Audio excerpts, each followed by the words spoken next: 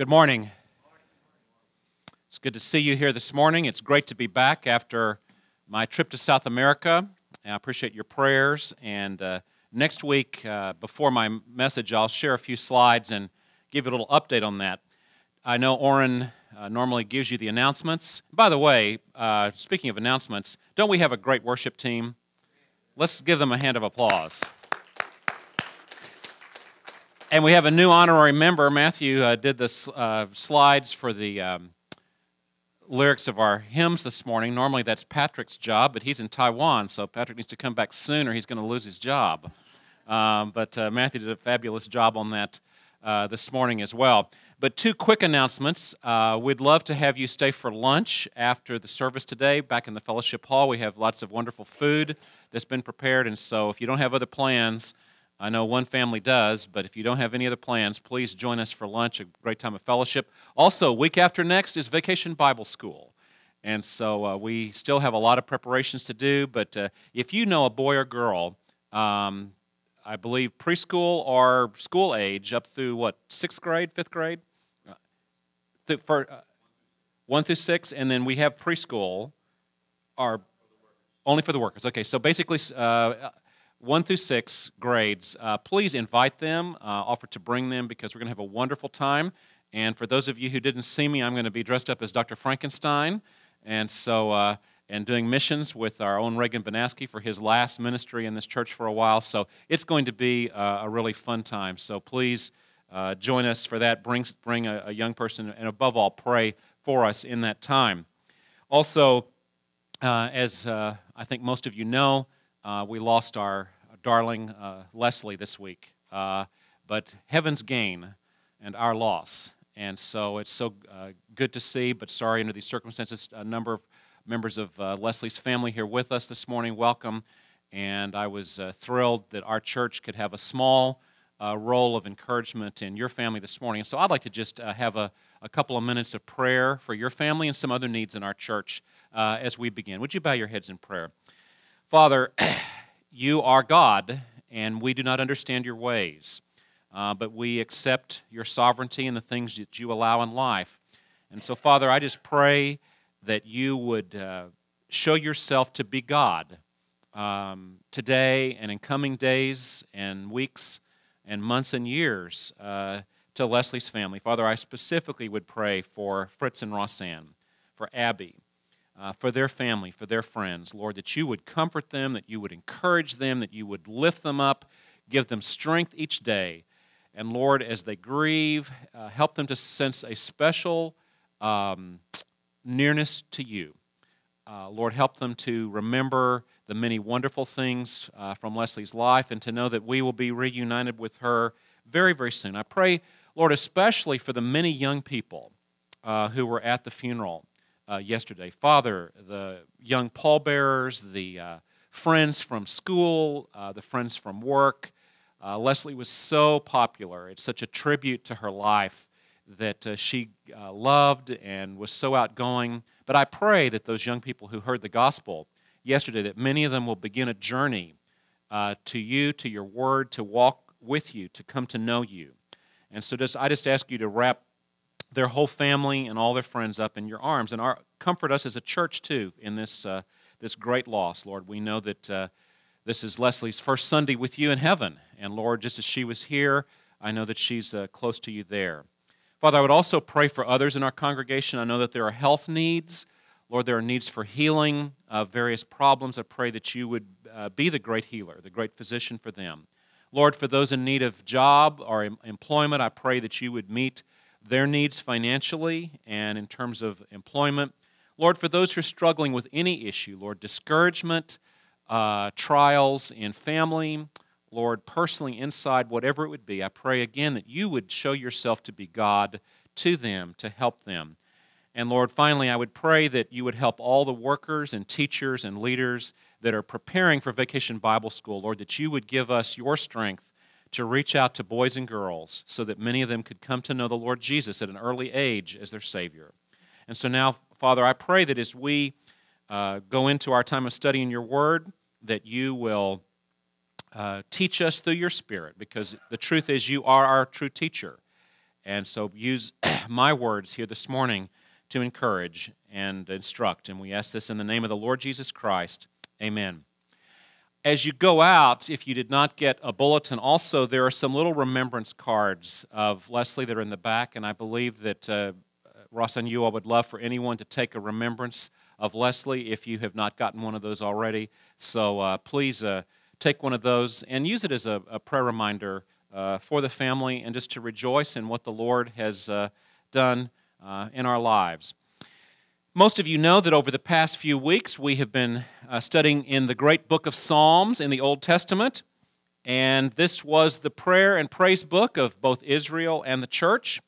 And so far we have studied three different Psalms, each of which deal with the Word of God. And so I'd like to use a little chart. As you know, I'm fond of using charts here to review uh, these different Psalms. We studied in Psalm 1, and one thing I like to do is use symbols or pictures uh, to help us remember things. So if you can have in your mind the idea of a tree, that's a great symbol for Psalm 1 because the man of God, the woman of God who meditates on and obeys God's word is like a tree planted by streams of water that is stable, that is bearing fruit. And so the image of a tree for Psalm 1. In Psalm 2, we looked at God's incarnate word, the King Jesus, who will rule all nations when he returns a second time. And I think a fitting symbol for Psalm 2 is the scepter for Jesus, who is the king of the world, but someday he will be returned to this planet and be rightfully proclaimed for what he is. Then we studied Psalm 19 before I went to Peru. Two symbols for that uh, great uh, psalm the sun in the sky and a scroll like the Bible. The sun in the sky shows that God reveals himself generally in nature. We know general truths about God, that he is all powerful, that he is all knowing, other truths through nature, but we have to have God's specific revelation in Scripture to know details about him, such that he is uh, the triune God, Father, Son, and Holy Spirit, that salvation is by grace through faith. Those are things we would not know from nature. We can know them, however, through Scripture. Today we come to the great psalm, 119. Two symbols the lamp, which we will see in a later verse. God's word gives us light to know and to obey God. But here's my favorite symbol for Psalm 119 the heart. Our heart for God's word ultimately reveals our heart for God. Show me a guy who views the Bible, or show me a guy and how he views the Bible, and that's ultimately how that man views God Himself. In coming weeks, as we study through this great psalm, we're going to see the full range of positive emotions, personal decisions that a believer can have as they feel and choose God's Word. No other psalm, no other chapter in the Bible so vividly portrays how much a person can love God by loving His Word. And so that's the title I've chosen this morning Knowing, Loving, and Obeying God and His Word. And so we'll look at the first 16 verses more in coming weeks. A couple of pictures here. On the left is a rabbi by the Wailing Wall in Jerusalem, and he has his Hebrew Bible open to Psalm 119, uh, reading it there, uh, perhaps reciting it. Many of the rabbis have large portions of the Old Testament memorized. And then on the right, uh, have you ever seen a kid's picture Bible with all the pictures in it? That's nothing new. In the Middle Ages, this is a Latin manuscript, and notice the little illustrations on the side, the little birds, and then the pictures. One of the reasons why the church in the first 1500 years of its existence put pictures on the walls and sculptures was because most people didn't know how to read. And so the manuscripts that had the illustrations, the pictures on the walls, the uh, sculptures were to help people who couldn't read because in the first 1500 years of the church, most people didn't own their own Bible either. The Bible was at the church building uh, or the cathedral. People didn't have their own copies. So, how incredibly blessed we are that most of us are able to read. Most of us are able to own one or more Bibles. Of all Christians who've ever lived, how blessed are we? The question, though, is what are we going to do with that wonderful book that God has given to us? For many years, as I traveled across the world, I preached evangelistically, presenting the gospel to people, and I said that there's only basically two options in world religions. First, there is religion, And I, you see, I notice I have a little arrow pointing up. All man made religions either try to find God or they try to find some substitute for God. That's a pretty good description of what world religions are about. But I always said true Christianity is a relationship. Biblical Christianity is a personal relationship with God. And notice the arrows go both ways God to us, us to God. But you know, as I've studied the Bible over the years, I've come to a little bit different conclusion. There's a third R that needs to be here, and that is the word revelation. God's revelation of Himself helps us to know Him and to trust Him. His revelation of His will enables us to obey Him and to please Him. And it is only through God's revelation of Himself in the Bible and His will that ultimately you and I can have a relationship with God. Without God's revelation, there can be no relationship with God. And so the most important of these R's is revelation, and then based on the revelation, we can have a relationship with God. So, what is Psalm 119 about? Well, I've looked at a number of different summaries uh, in different commentaries, and here's one that I think is very helpful.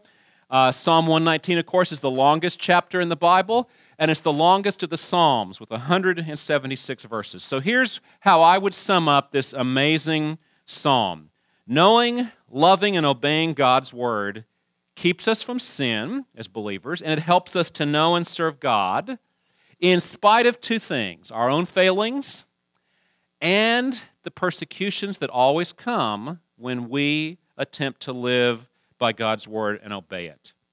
So every verse in Psalm 119 speaks either of God's word or our response to his word or both. And the chief response of the man who wrote this psalm was to pray over and over and over to God in light of what his word teaches. Now, before we actually look at some verses in Psalm 119, I'd like to share some things that I've learned that have helped me understand this great psalm. We're still in introduction. Notice the picture here on the left. People have called Psalm 119 the crown jewel of the book of Psalms. But really, it is 176 little jewels that are woven together in a tapestry or a mosaic. And so, in most cases, if you see a tapestry, this amazing piece of cloth woven, or you see a mosaic, you have to stand back to be able to get the, good, the big picture of it. But Psalm 119 is different. Rather than standing back, we have to come up close and look at every one of those 176 verses to notice the great details that are in this psalm. Unfortunately, because there's so many verses and I only can cover it in a few weeks, we can't dive into every word and every verse like I would like to. But we'll try to dive in where we can uh, with some specifics and then also stand back and look more at the general picture as we can. I want us to go back, excuse me, for a moment to Psalm 1 and see its relationship to uh, Psalm 119. Let's review this again. We preached Psalm 1 a few weeks ago. How happy or blessed is the man who does not follow the advice of the wicked, or take the path of sinners, or join a group of mockers. Instead, this man, this woman's delight is in the Lord's instruction, and he meditates on it day and night. So, Psalm 1 tells us there's two basic things that the godly person does delight in God's Word, the Bible, and meditate on it. When we come to Psalm 119, we find 176 specific ways that we can carry out this delighting and meditating on the Word. So Psalm 1 gives us the general principle, and 119 gives us many applications and illustrations how we do that. Or to put it in other words, let's change slides. Psalm 1 or Psalm 119 is what it looks like to put Psalm 1 into practice. Or Psalm 1 is the acorn, and Psalm 119 is the oak tree. Only, of course, this oak tree, you've got to climb it and look at some of the leaves and some of the branches up close. And again, we'll try to do as much of a balance as we can between the leaves, the acorns, uh, the limbs, as well as trying to get a picture of the tree as a whole. One more thing before we look at the psalm itself. Psalm 119 is arranged in special order in Hebrew called an acrostic. There's 22 stanzas in Psalm 119, eight verses per stanza. All eight verses in each stanza begin with successive letters in the Hebrew alphabet. Now, in English, if we had an acrostic of a poem with successive alphabet letters every eight verses, it would look like this. Verses 1 to 8 all would begin with the letter A. Now, this is English now. Verses 9 to 16 all begin with the letter B. 17 to 24 all begin with C. 25 to 32 all begin with D, on through the alphabet. Of course, we have, what, 26 letters in our alphabet? Hebrew only has 22 letters in their alphabet. So that's the way the psalm is arranged. So the question is why did God allow this psalmist to use a structure which seems to many people very uh, difficult. Uh, it seems sort of artificial. But if they looked at some of our poems where the words rhyme at the end, they might think that's kind of artificial too. So, you know, it's just a difference of culture, it's a difference of perspective. And even in the world today, we have so many wonderful cultures over the world and so many different ways of looking at things. Certainly, we can allow the people in the Bible a little bit different way culturally of looking at things. But why did God do this? Well, let's go to the New Testament, to the last book, and look at Psalm uh, Revelation 22, what Jesus said. Remember, Jesus said, I am the Alpha and Omega, first and last letters of the Greek alphabet, Alpha, and then down here, Omega, the first and last letters, the first and the last, the beginning of the end. Now, what did Jesus mean when he said he was the Alpha and the Omega? Did he mean he was just the first letter and the last letter of the Greek alphabet? I think what he was really saying was he was the first letter, the last letter, and all the letters in between. Jesus, we'd say in English, is the whole alphabet, A to Z. Jesus is everything to me, He's everything to you. There is no need in our lives that Jesus cannot meet. And just as He runs the whole gamut of the letters, He runs the whole gamut of our experience in life so that whatever we face each day, Jesus is there for us as Christians to be able to meet that need. Well, in a similar way, Psalm 119, because it has all the letters starting with Aleph of the, and of course you read right to left in Hebrew. We read left to right in Greek and English, but in Hebrew you read right to left, starting with Aleph all the way down to Tav, which is the last letter of their alphabet. In the same way, Psalm 119 covers every letter of the Hebrew alphabet. And again, God is basically telling us He is covering every possible aspect of our experience in this life. There is nothing that the Bible does not cover, there is nothing that the Bible doesn't deal with. Not necessarily the specifics, but no need will ever come along in life that the Bible does not address that. And that's one of the big things that Psalm 119 is dealing with. Just like the alphabet covers every letter of the language, Psalm 119 and the Bible as a whole covers every need that we will ever have. Now, let me ask you is that how you view the Bible? Do you view the Bible as just some ancient book that's been handed down to us, like uh, some of the ancient books from different nations? Or is it really God's Word that because He inspired it, it really can speak to us? in whatever happens to us in life, from our youth to midlife to old age. And again, this is why our study here on Sunday mornings of the Bible and our own personal study of the Bible in our own time at home is so critical.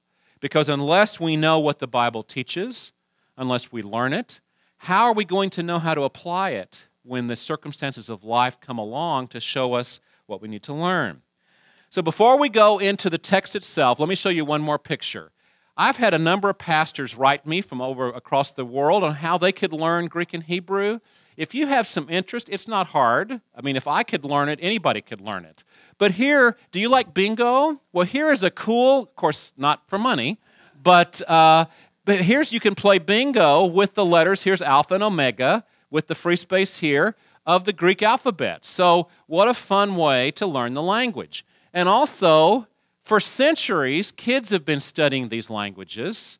Today, I'm very glad to know that many homeschooling families uh, teach Greek, Hebrew, and sometimes Latin. But for centuries, the Wesley brothers, for example, Susanna with 16 kids and all the housework that she had, if you can imagine a family that size, taught her children Latin, Greek, and Hebrew, along with English and other things. So it can be done. But here, first letter we're going to look at today, the letter Aleph in Hebrew, Ari, which is the word for lion in Hebrew, begins with this first letter. It's not A, but it's, it's a silent letter.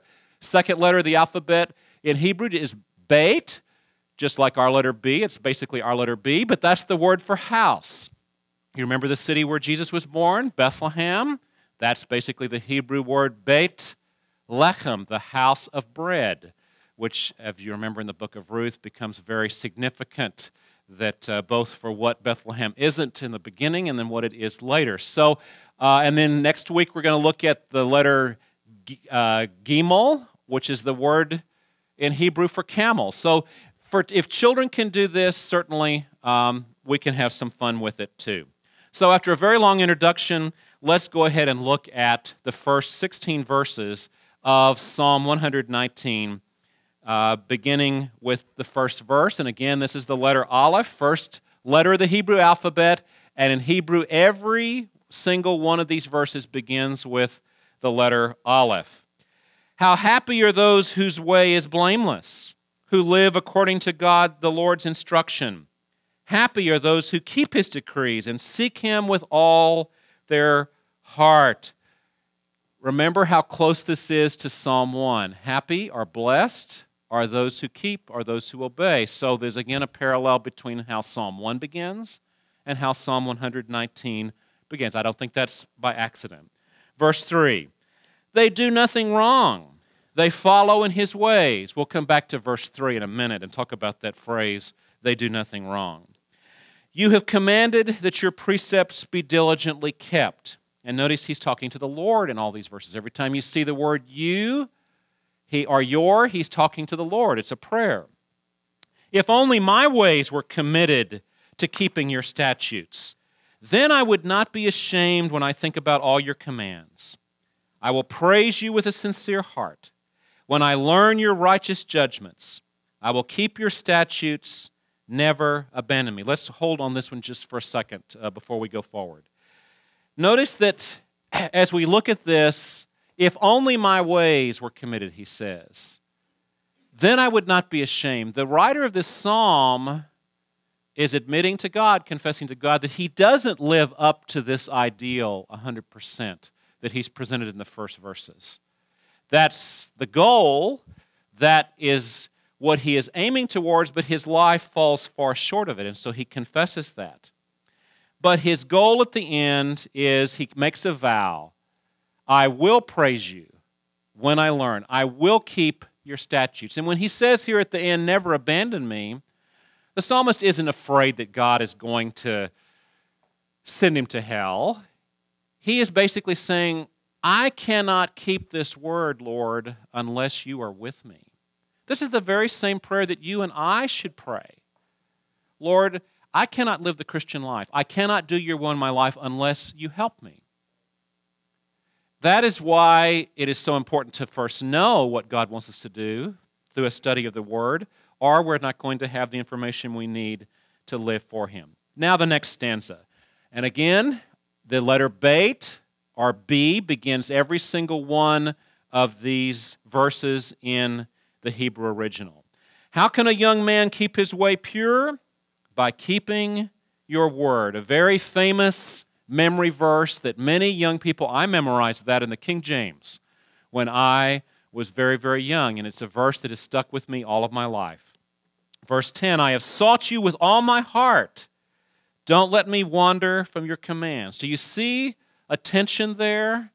He, his desire is, and his experience has been, Lord, I've given you my all. I've sought you with everything I have, and yet don't let me wander. Don't let me be like a sheep that strays away uh, off the path. Then, verse 11, another famous memory verse that many children and adults have learned I have treasured your word in my heart so that I may not sin against you. Again, a verse that I memorized in the King James when I was a child. Verse 12 Lord, may you be praised. Teach me your statutes. With my lips I proclaim all the judgments from your mouth. I rejoice in the way revealed by your decrees, as much as in all riches. Verse 14 Is that how you view the Bible? As one of your most valuable possessions? If your house were on fire and you could only had time to take out a few things, would you think to take a Bible? Well, of course, in our society, sadly, we have so many Bibles, you know, our thought would be, well, we can buy another one. But suppose that you only had one Bible it might be one of the things that you would rescue in a fire. And that's, I think, what he's saying here. Lord, take everything else I've got, but don't take your word away. And of course, the stories from China and from many countries of people. I have heard and read stories from China during the years before the Bible was printed there. Praise God that uh, now in mainland China, they are printing Bibles. But in the years when it was completely prohibited to print Bibles, I read of a couple that when they got married, they sold all their wedding gifts to buy a portion of the Bible so they could study it. What a wonderful marriage that Christian couple must have to have put the Word of God as the foundation of their marriage from the wedding forward. Another man I heard in China sold his blood by the pint to get the money to buy verses from the Bible. Would you sell your blood to get verses from the Bible if you didn't have anything else in the Bible. And so, in light of that, how blessed are we to have stacks of Bibles in our homes, stacks of Bibles here in our church. And as I've said in other sermons, we may not always be so blessed because we're going to look at in coming weeks when persecution starts, one of the first books that gets banned is the Word of God. And I believe with all my heart, if the Lord Jesus does not come back soon, we will live to see a day in here in America where the Bible will be banned because it's the most dangerous book in the world to anyone who disagrees with it, of course. And so we need to use the time that we have while we have it. There are four promises or vows that this man makes in these last two verses. I will meditate on your precepts. Again, going back to Psalm 1. I will think about your ways. I will delight in your statutes. Again, notice the two key verbs that take us back to Psalm 1 delight and meditate. And I will not forget your word. How will he not forget it? By learning it, by memorizing it. Now, there is a major theological issue, doctrinal issue, staring us in the face. And if I was like many preachers, I would just sort of gloss over it and let you go home and chew on it on your own. But I'm not going to do that. I'm going to hit it right between the eyes. And that's one of the reasons why God is using the messages from here across the world in a way that's encouraging people. Look again at the first three verses. How happy are those whose way is blameless, who live according to the Lord's instruction.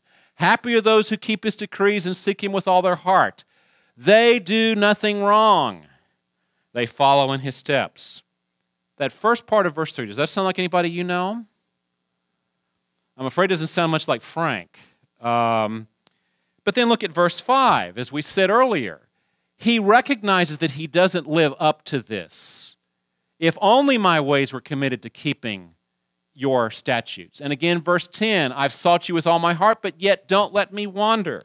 So there is this tension going on between the way you can live as a believer and the way he sees his own experience. Well, if you think this is unique to the Old Testament, it gets more intense in the New Testament. Let's look at one of the, the first letter of the Apostle John, John 1, verse 6. He says, If we say as Christians we have fellowship with God and yet walk in darkness, we are lying and not practicing the truth. But if we walk in the light, as he himself is in the light, we have fellowship with one another, and the blood of Jesus, his Son, cleanses us from all sin. Cleansing is possible for our sins as Christians. Verse 8 If we say we have no sin, we are deceiving ourselves, and the truth is not in us. And then another verse that's very helpful to commit to memory, verse 9. If we confess our sins, he is faithful and righteous or just to forgive our, our sins and to cleanse us from all unrighteousness. And then, just in case you didn't get it, Verse 10 If we say we don't have any sin, we make him a liar, and his word is not in us. So, based on these verses, it could not be any clearer. We Christians do sin. We shouldn't, but we do. But God has provided a way for us to be cleansed from our sins when we fail. And if we dare to say as a Christian that we haven't sinned, that we have no sin, we're deceiving ourselves and we're calling God a liar. So this much is clear. This is the easier part. Now let's go to chapter 3. 1 John 3, beginning in verse 6. Everyone who remains in him, key word remains, does not sin. Everyone who sins has not seen him or known him. Little children, addressed to believers, let no one deceive you. The one who does what is right is righteous, just as he, Jesus, is righteous.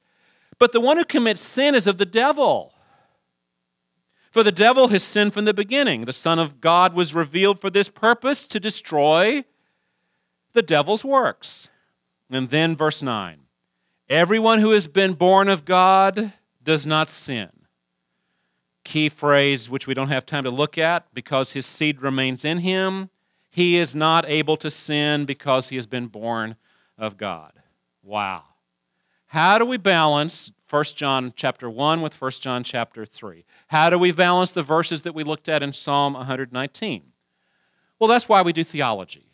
That's why we balance Scripture with Scripture in careful study so that we're doing equal justice to what all the parts of God's Word say. But if you look at the last 2,000 years of church history, if you look at the different denominations of the church today across the world, you realize people try to solve this problem in different ways. And by the way, the slides are deliberately off because I wanted to speak to you and not have you distracted by the slides for a, a little bit. So, how do people solve this tension? Many different solutions. And I'm always honest with you. I will fail you in many ways, but I'm not going to fail you by failing to be honest. Some people solve this tension by just saying, they just throw up their hands. The Bible contradicts itself. There is no reconciliation of these truths. But that's not possible because the Bible teaches in many places that it is without error. When God speaks, he can't make a mistake, he can't lie. So the Bible is absolutely true. So it, there can't be a contradiction here. So that's, that is a solution that we have to just throw out at the very start. Then other people uh, try to solve this by swinging the pendulum one way or the other theologically. But if you go too far in one side, too far in the other, you get into error. I'll give you a couple of examples. If you take Psalm 119, verse 3, they do nothing wrong. If you take 1 John 3 9, he is not able to sin. If you take that too far to one side, you're going to end up in a teaching of many churches and denominations. It's called sinless perfection or perfectionism. Those groups teach that a Christian here and now can become perfect, totally and completely sinless permanently this side of heaven. Well, 1 John 1 very carefully contradicted that.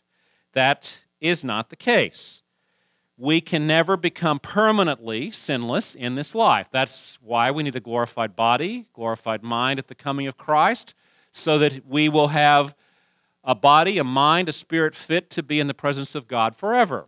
So that's not a solution. But then there's people who swing to the opposite side, which is also an error. Some groups teach that we Christians, we're forgiven, but we are so sinful, we're so fallen, we're so prone to wander that we can't help but sin.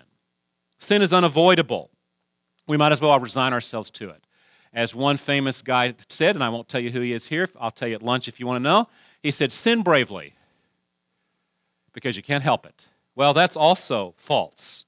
The scripture teaches that we never have to sin as Christians.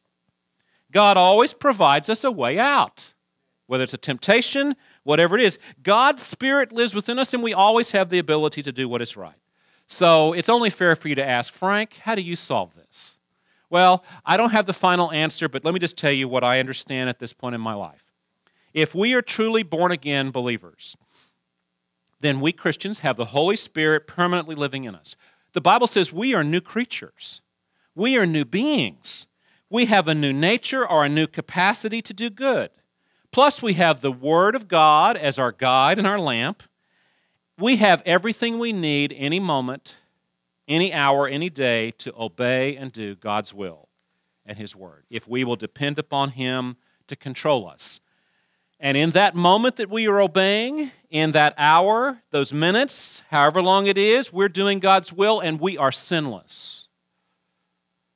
However, the challenge is we got to keep on doing that. We got to remain consistent. And that's where our weaknesses, our frailty, our temptations, our habits, our distractions come in. So we can climb the mountain and we can arrive temporarily, but boy, just around the corner, we can fall off the other side. But just as quickly as we fall off, what did 1 John 1 tell us? God has provided a way to cleanse us, for us to pick ourselves back up in repentance, in confession, in cleansing, and get back in the race. So we have this tension. So let's look at uh, Psalm 119.9 verses some. I believe that 119 verse 9 is the Old Testament parallel to 1 John 1 verses 7 and 9.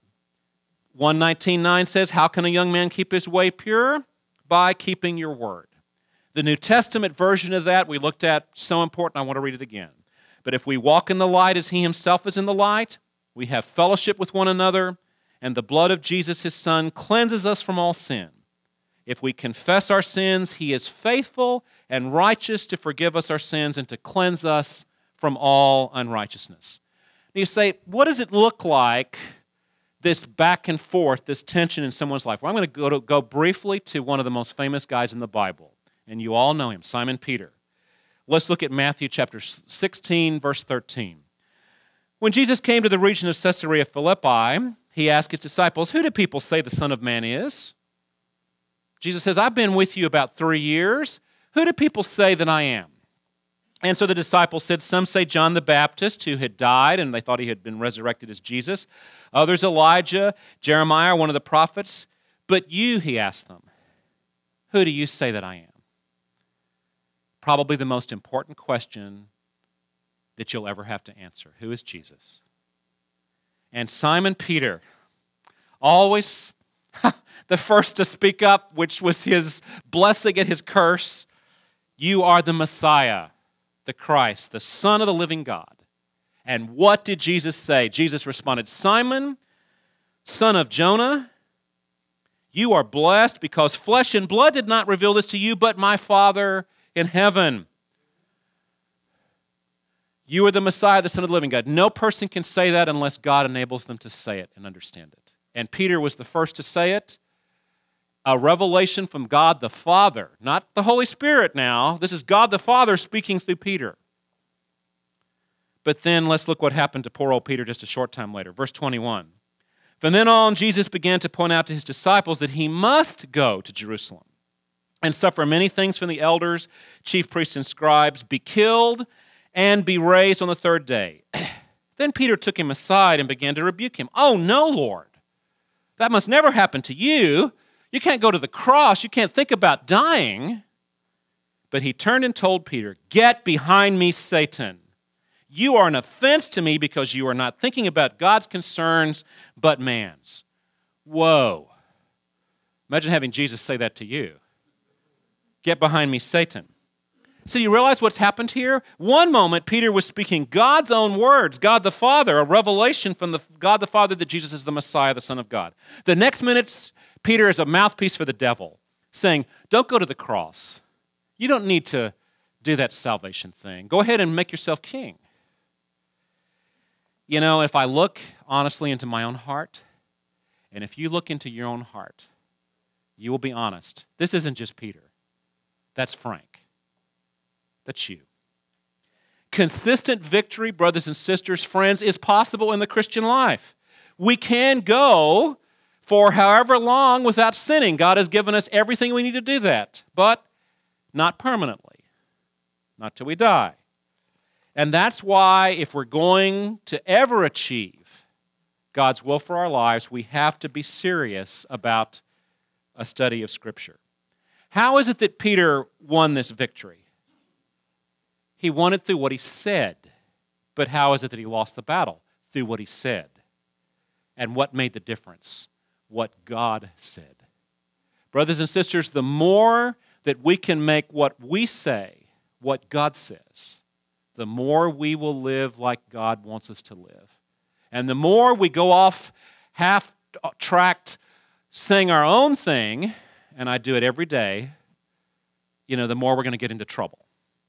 And that's why we come here and make God's Word the centerpiece of this church, just like Lafayette Bible Chapel. The Bible is the heart of our name, the Scriptures are the heart of our ministry here on Sunday mornings. And so that God can gradually transform our minds, our words, our conduct, so that we can achieve, however long, God's will for our lives. Okay, I know that's been very heavy, so we're going to go a little bit lighter and faster to finish up. I want to uh, conclude today with five simple applications of how you can take Psalm 119, put it into practice in your life, and then next week we'll go full tilt into verses 17 and following. First, start memorizing verses in Psalm 119. Two to start with, verse 9. How can a young man keep his way pure? By keeping your word. Verse 11.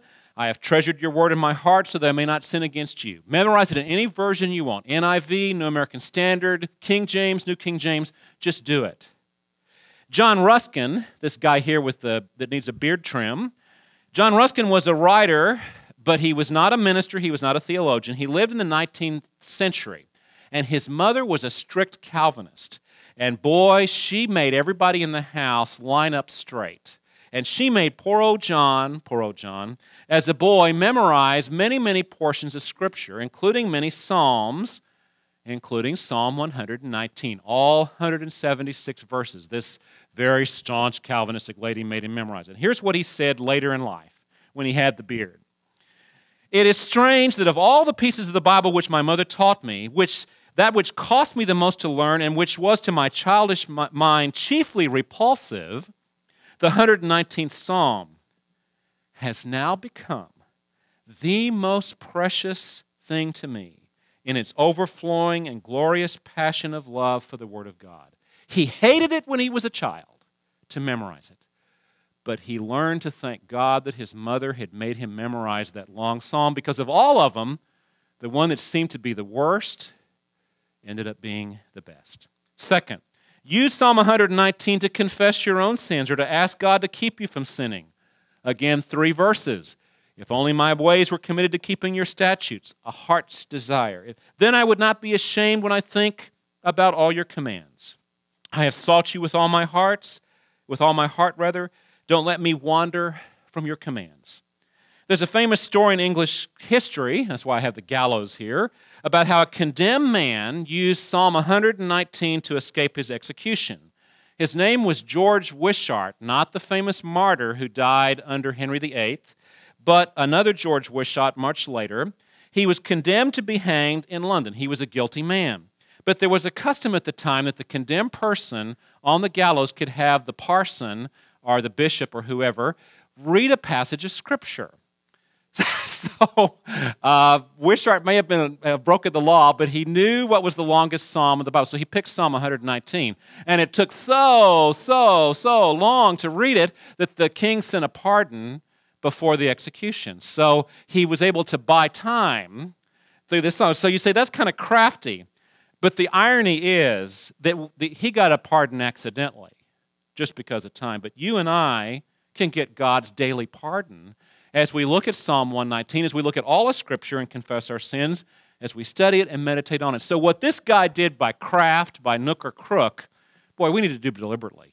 And so, what a, what a great lesson, sort of in reverse. Three, if you're a beginning Bible student, let me encourage you don't just read the Bible, learn to study the Bible.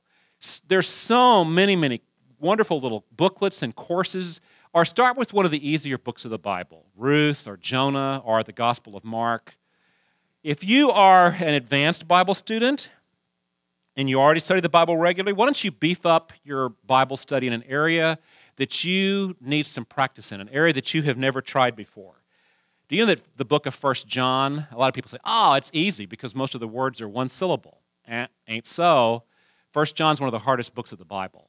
So try that one. Or Second Peter or Job, or the Song of Songs, or Hosea, Ezekiel, if you want uh, a marathon. Psalm 119 is actually one of the hardest of all the Psalms. But try something you've never tried before if you're an advanced student, and watch God bless you as you not only study it, but you put it into practice. Number four, keep a journal or a diary. Record how you're doing each day, obeying or disobeying God. be, be careful to re- record both your victories as well as your failures. Be specific. Ask a prayer partner to pray for you in areas that you're writing down where you're struggling. See, a journal's not going to lie if you're honest with it. And that way, it can be a very helpful tool to help you pinpoint areas of your life you need to grow. Plus, it can be a great encouragement if you look back and you say, Man, on Tuesday, on Monday, I had this great victory. God was with me. It'll encourage you to live the same on Friday or Saturday or Sunday. William Wilberforce was a British statesman who was largely responsible for the abolition of the slave trade throughout the empire. In 1819, he wrote in his journal, he kept a journal, I was walking today through Hyde Park Corner, repeating the 119th Psalm in great comfort. Now, do you think it's very unusual that a man who was so involved in politics, so involved in his country, so involved in a world cause like abolishing slavery, that he had time to have memorized Psalm 119 and that on just a walk through the park, he would recite it? And then he recorded what he did in his journal. See, the journal revealed what was going on in his life. And again, if a man like this, so very, very busy, could, could learn the whole thing, we can learn a few verses. Finally, pray the first two stanzas that we've looked at this morning, line by line this coming week. Meditate on each line and consider what action you could take to obey it. If we're going to live up to the ideals of this psalm, we must grow in our commitment over time putting away distractions, habits, the tyranny of the urgent. The battle's not going to be won in a day, but God can help us to grow in godliness and Christ likeness over time. Many people don't realize that this guy here on the left, one of our most famous founders, Patrick Henry, he didn't just start out to be the greatest orator of the American Revolution. He had to grow into that. Old Patrick started out as a farmer. He never went to college. But in six weeks, he studied enough law books to be eligible to, to apply for the bar in Virginia. As a self taught attorney, over the course of his career, Henry tried over a thousand court cases and he won most of them. But he didn't have a law degree like most of the other attorneys. By the time the British passed the Stamp Act in 1765, this self educated speaker appealed to the Magna Carta so many, many centuries before, and he unleashed his fiery rhetoric against the crown for their violation of the colonists' rights. But it was only after many years of preparation that he was ready to utter the words that he will always be remembered for give me liberty or give me death. And just as he did not grow into this kind of oratory overnight, so you and I, brothers and sisters, can't grow into the kind of Christian life we've looked at overnight. It has to be a daily, weekly, monthly, yearly study of development. And that's why we come together here so we can encourage each other in that incredible task that will make all the difference not only in our lives, but in the lives of people that we will touch. And this church is touching people around the world. So do not sell Lafayette Bible Chapel short, as well as folks right here in the city of Lafayette. Let's pray. Father, thank you for your wonderful word. And I pray that this week we would take to heart what we have heard here through your word this morning. And Lord, that we would take the Christian life seriously, that we really would seek, Lord, to spend minutes, hours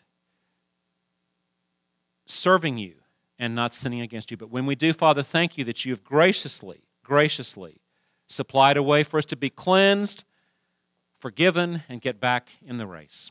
Bless us this week. Help us now as we go to our lunch uh, and have a good time of fellowship. And we ask this in Jesus' name. Amen. God bless you.